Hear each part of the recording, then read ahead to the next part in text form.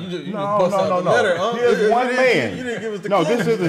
This you gotta give isn't. This is a court case Okay, all right. where Collins, I was gonna say the same thing. William Barnes, sues Collins, Okay. October twenty fifth, So, oh, eighteen fifty two. So is it are one of them your forefathers or? I can show it to you, because again, I think what happens here is So this was this, a case. This particular woman that we're talking about Yeah. is my grandmother's grandmother. Oh wow. Oh, Wow. Okay. Yeah, yeah, All right. yeah. And so this is ten years before the Civil War. This is before Uncle Tom's Cabin is released. Wow. Okay. This is um, um, one man suing another one for defamation of character, for saying that he's having a relationship with this woman. That woman happens to be my grandmother's grandmother. It's a 26 page. Uh, How did you obtain that document? this document remains in the courthouse 168 years after this event occurred. Okay. Wow. These But how did you know, how did you know to look for it? Like what?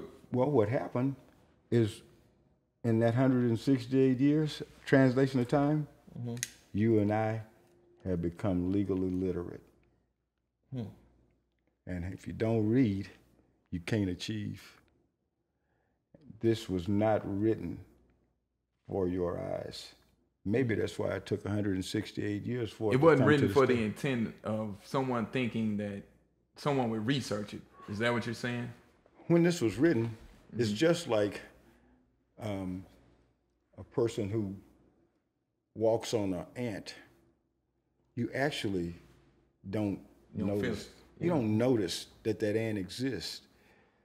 This was a scenario where this man felt personally offended by. But you know what happened, you guys?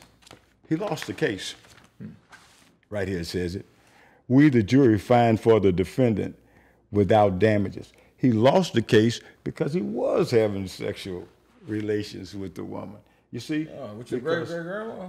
with my grandmother's grandmother. Well, you see, my that's my great that's my grandmother, and this You is just gonna put Graham's business out there like that? well again. It No, wasn't. It was well. Two years later, when Well, this that's, man all dies. business because a lot of us, the- our ancestry is the result of that.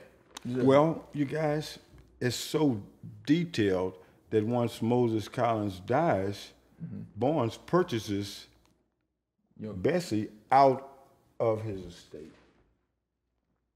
And he me- he keeps on giving putting babies in it, you see? He wasn't mm, through. Wow. You know, ain't no fire like Sapphire.